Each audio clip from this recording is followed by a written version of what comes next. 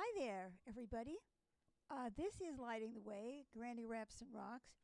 And um, things are not working exactly right tonight, but we're uh, closer. I can't uh, play the piano in stereo, and we're sharing a microphone. So, but anyway, here we are. Here we are. Here we are. So, I'm so glad to see you. Anyway, tonight I'm going to talk about uh, where our ideas come from. And, and, it's like, get honest. Are you influenced by the mob?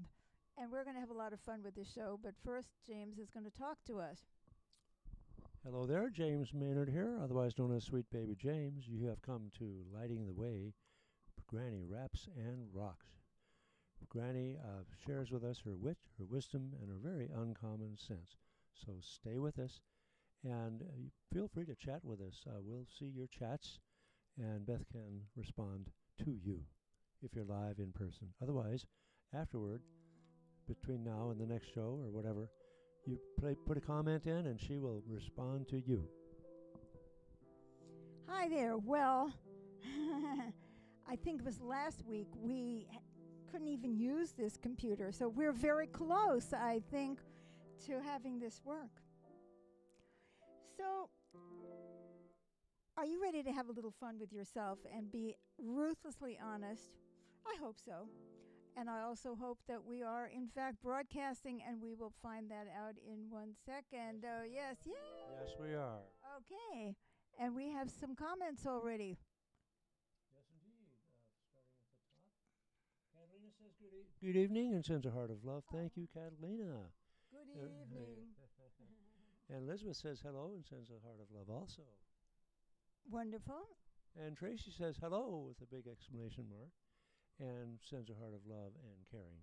Hello, Elizabeth. Hello, Tracy. And here we have Todd who says, Hi, Beth and James. Nice to see you. Audio only coming into one channel, the left channel. Weird listening with headphones.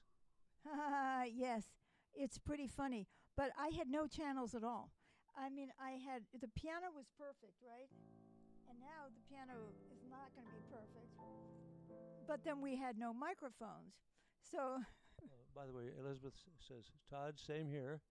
And also, she says, uh, sound is a bit aloft or uh, soft off. probably. Soft, yeah, soft. Okay, how's that? How's that? I turned up the microphones, I hope. All right. She said soft. yes. Oh, that was correcting the previous word. So anyway, I hope that this is working now. Okay, thank you, James. Yes. Okay, better. All right. Um, a little bit more, and here we are. So, you know, when we were kids, do you remember what girls would say about boys and what boys would say about girls? Like, boys would say, oh, girls are stupid, right? Or that kind of thing. I'm Or sissies. Or. Well, they didn't say the Weak. girls were. Yeah, weak, stupid, something. And then girls would say, "Oh, boys are." What did what did we used to say about boys? dumb. Dumb, stupid. You know, we and we had all these opinions, didn't we? So Mean. mean, grungy, and um, we had these opinions. And where did we get them from? Each other. Uh, can you hold this? Uh, uh, is that too hard? A little bit closer to my mouth. Okay. So I can look at the people. Yes. So uh, we would uh, we would spout these opinions with absolute uh, certainty, and uh, you know, uh, Todd says it's better, by the way. Oh, good. I'm glad to hear that. Okay, good. So we got everything working except the sound. anyway, uh, almost. Oh, and look, we have another comment already. Oh, Amy says girls are icky and have cooties. Oh, Boys are mean, and if they're mean to you, it means they like you. right. Great. So anyway, I hope the piano doesn't sound too terrible. It's probably coming in on one channel. That's because I couldn't get the channels working on this program. The program is dumb. Obviously, it is. And also mean. Oh, so mean, but so very dumb. Very dumb. Anyway, y- you know, it didn't get any better. We uh, uh, and we got these opinions from the mob. What really happens is that the mob changes as we get older. Okay, do you see what? Uh, Lizzie says uh, piano sounds very soft. That's because it's only coming through one channel, I guess. Okay. Okay, we have the piano. Hey, we did it, and we're here, and we're broadcasting. And I'm already offending people, so that means that we're right on track. So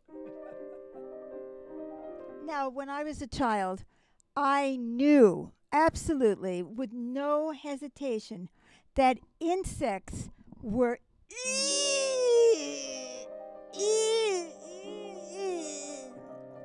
now, in that case, who was the mob? Where did I get that from? Lillian Ingber, my mother. Your mother. Okay, that was my mother. My mother was afraid of insects. And so, of course, I thought they were disgusting and horrible too. So, did I have any experience with them directly? Well, I didn't like mosquitoes. And, you know, I didn't have bed bugs yet. I didn't get that until I was an adult. But it was like my mother's opinion that I just imitated, mimicked, didn't even notice, right? So that is one level on which we are impacted by the mob. And, you know, as we get older, it's like, he's cool, she's cool.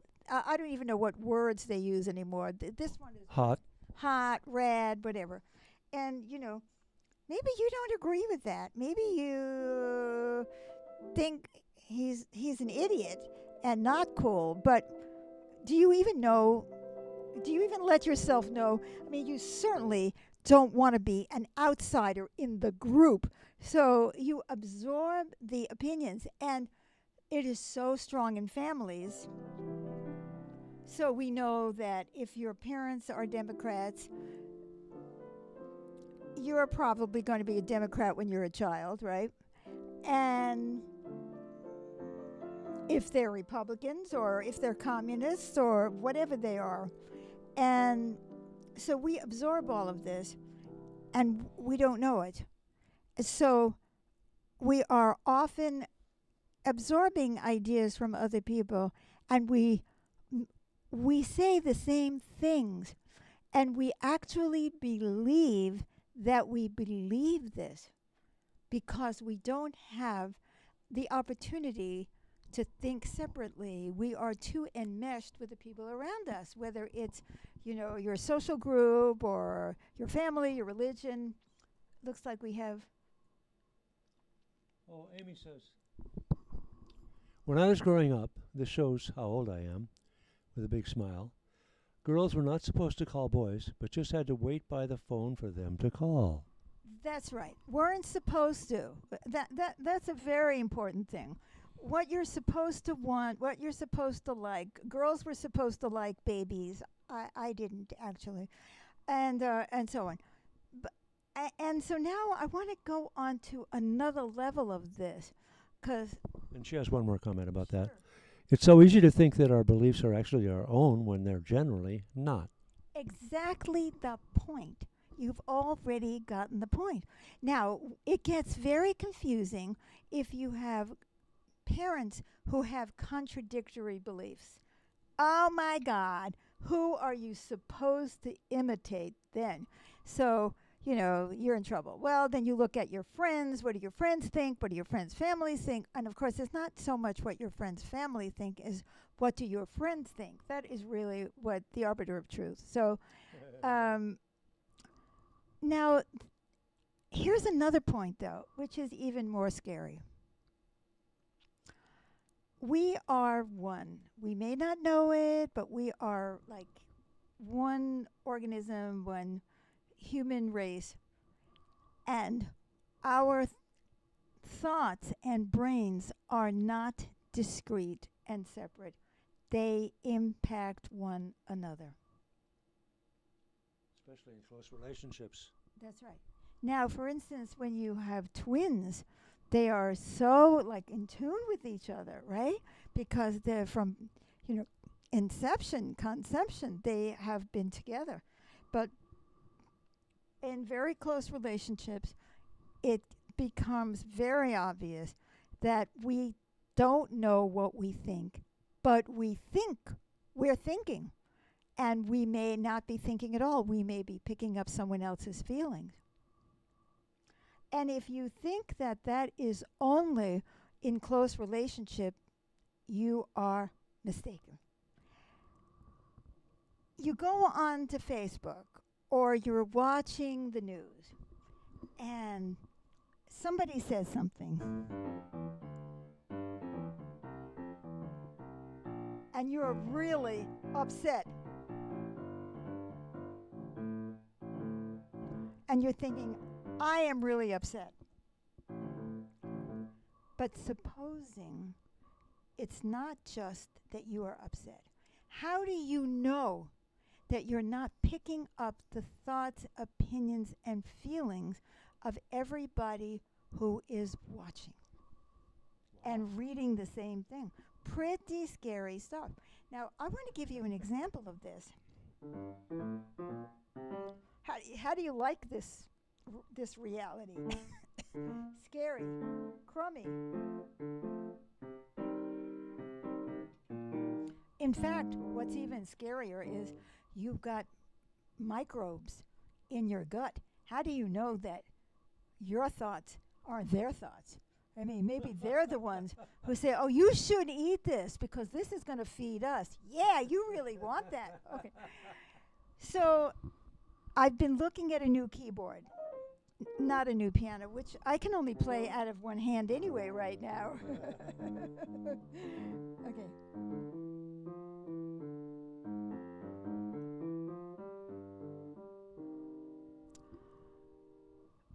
So everybody has been hyped up because this new keyboard was coming out and people have been waiting for an upgrade of this keyboard for six years. So I went onto all the forums, and because I wanted all the latest information too, I was really excited about this keyboard. And people were saying, oh, it's going to have this, it's going to have this, and it's going to have this, and it's going to have this. And where they got this idea, I don't know. They got it from each other. Seriously. You know, if you go back to it, who was the one who said it the first time? Well, I'm sure that the new Genos 2, which is the keyboard, is going to have a screen that tilts. You, you can push a button and it tilts. And oh my God, the keyboard came out today. And it didn't have a tilting screen. It was tilted up, but it couldn't just go up and down and they were furious. People were furious. Betrayed. It's no good. And there were one thing after another about what is wrong with this. Now, nobody has this keyboard, actually. Nobody. It just came out today. It just came out every. But half the people say, well, gee, I, I kind of like it, or I, I think I might like that. Those have the quiet voices. And the who said, it sucks, it sucks, it's no good. I'm not going to get one of those. Oh, no, it isn't any better than the other one. It's new. Why should I? Should I? I can play with two hands at the same time, right? And uh, I felt myself getting depressed because I'm listening to the hype, right? And uh, I don't really care if the screen goes up and down. It, it, if if I can see it, I'll be happy. If I can see anything, I'm happy, right? so, hey, I don't need this. So, um, this, but I'm picking up the energy of outrage, and it's not just the screen. It's not this. It's not that. It's and mind you, nobody has it yet. right. Nobody has it yet. And yet, all these opinions. All these opinions, and it's growing like a tsunami, right? Whoa, it's going to grow. So I put in my little comment and I said, well, you know, the things what I care about is the sounds, and they say that the sounds are amazing. They're even more amazing than they used to be, and I, I'm kind of interested. But I was so tentative in what I said, whereas the people who are just trashing this poor keyboard, if it if the keyboard was listening, it would be so upset. You know, if it they're louder, they're louder, and it just becomes a groundswell of disapproval. And there people were saying, "Shame on you, Yamaha." I am serious, vile comments. Shame on you, ha- Yamaha. You only did this and this and this and this, but you didn't do what I expected. And so the mob, you see, and that is the thing that made me think of this topic tonight because I could see the mob. I could see the mob in action. Is there a bigger mob than Facebook? Pretty big one. That's a big mob. And uh, then you'll say, oh, God, that's inhumane. That's disgusting. That's uh, terrible. That's what it is. And it, it, it, it you know, uh, it just keeps growing. It keeps growing until it is like a cloud. And now you're sitting there and you're trying to learn something. So you're going to a forum or onto Facebook or you're trying to get information. And you're so filled up with people's opinions before you have had a chance to determine for yourself.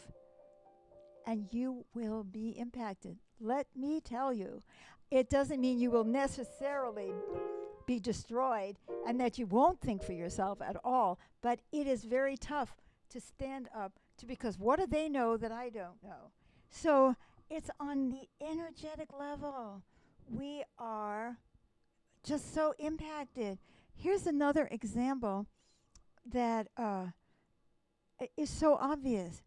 We, most of us, I'm not saying everyone, of course, most people believe that human beings have the right to consume or utilize anything or everything on the planet for our own purposes and for our survival. How many people are going to move out of a town because they realize that the coyotes have been displaced and they say, I, I need to leave because the coyotes have been displaced? How, honestly, that's because we are living in human society. Now, the coyotes, on the other hand, are saying, Those people, get out of our backyards. What's wrong with these people? Are you seeing what I'm saying? And we don't even question.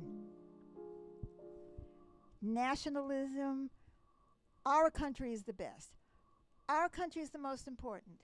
We should have all the rights. Our families, like, I gotta, we gotta take care of our own. It all. we should have most of the resources, and the United States does. That's right. We should, right? well, because this is our birthright, right? Because we're Americans, right? So it starts with something as silly as boys are stupid and girls are uh, s- weak, or girls are stupid and boys are jerks, or something like that, or the neighbors next door uh, is dirty. Yeah, I remember distinctly going to a neighbor's house when I was a child, and this woman's house was dirty according to the standards of my mother. Now, do I know whether there really was a problem? I have no idea because I walked into that woman's house and it was like, "Ugh, ugh, ugh." Now, if anybody walked into our kitchen, what would they think? Exactly. you see what I mean? But my ew is okay. It's their ew is not not okay. So from childhood I was forming opinions about other people, about other races, about other religions, and then I had to fight my way out of that. Then we're fed more and more by as I say, our mobs change. We begin to listen more to our friends, especially when we're teenagers. I mean, then we begin to realize parents are stupid, right? Parents, Yeah, they're just not cool. They're not with it. they're not. They don't know anything. They've never. Uh, they don't know anything. So then we have the parents are stupid. So we, the one mob has turned away against the other mob, and then if you work for a company, it's like our company is better than their company, and ha ha ha, and you actually don't think. I don't think. I am embarrassed by how scared I am of insects because of the way I grew up. You know, I don't like it, but I do it. But I look have to look at the deeper deeper things. How many prejudices am I sitting with and I don't even realize that those ideas didn't come from me. They didn't come from my experience. They may not even have come from my own family because as we get part of the bigger world, we're more and more influenced by larger and larger groups. So this kind of music is cool, but classical music is so boring. Right. But this music that you hear where they repeat the same notes, five notes over and over, the same three chords over and that isn't boring. Classical music is boring, right? Because everybody says so, because everybody knows this. So it's all the opinions that we keep hearing over and over, and worst of all, it's our own connection to everyone that is so insidious that we don't even realize. Does anybody have an example about themselves that they would like to share with us? I'd like to share. I can remember when I was in high school, I had a teacher who was very, very conservative, and she went on and on and on about what was wrong with liberal policies and spending and so much more than they ever said they were going to. And so I became convinced that you know, the, Christ, the conservative way of thinking was the right way to think. Then I went to college and I heard John F. Kennedy talk about uplifting themes and wanting to help people and improve society and sh- share and share alike with others. And so then I started having tho- those attitudes, diametrically opposite to the ones I'd had before, just because the influence was different. That's right. Yeah, there you go. Also, I took a course in economics. And it says, well, what they were telling us before about the invisible hand, free enterprise, uh, pull yourself up by your bootstraps, wasn't necessarily so. I mean, there was a whole other way that the economy was working that they didn't know, and, and it was overly simplistic. So then I started believing that way, and on and on it goes. Absolutely. Or socialism is bad.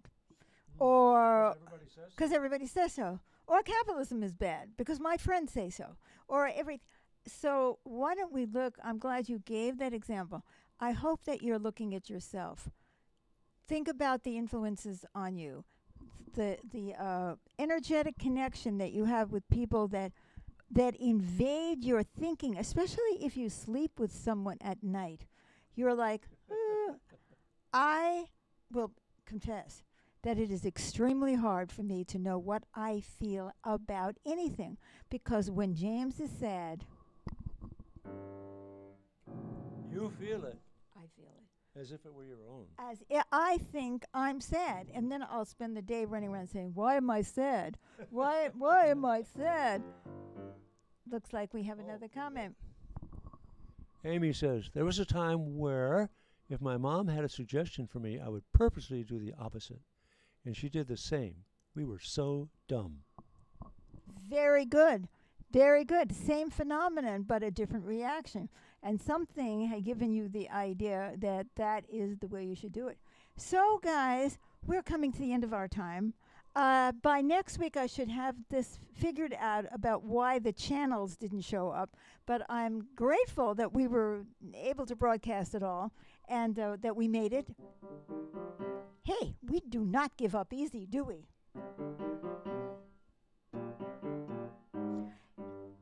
watch your thoughts and see where they come from. For example, you may have the idea that you should never give up. Well, maybe you should.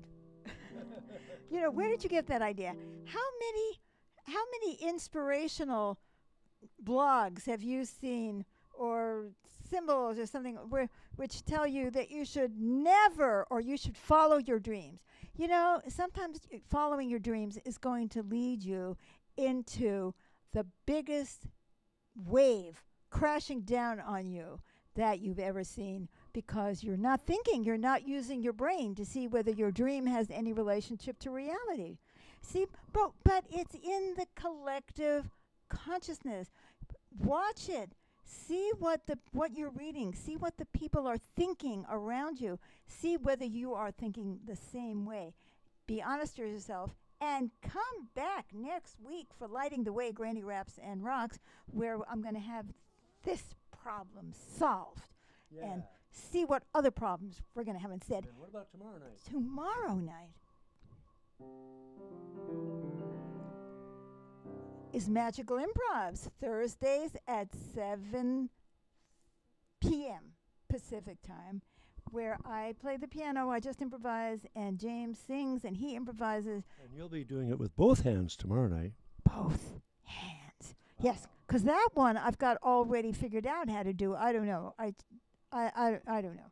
Don't ask why I couldn't get it done today. But obviously, uh, we were able to do enough to get by. And you know, right now, that feels good enough to me.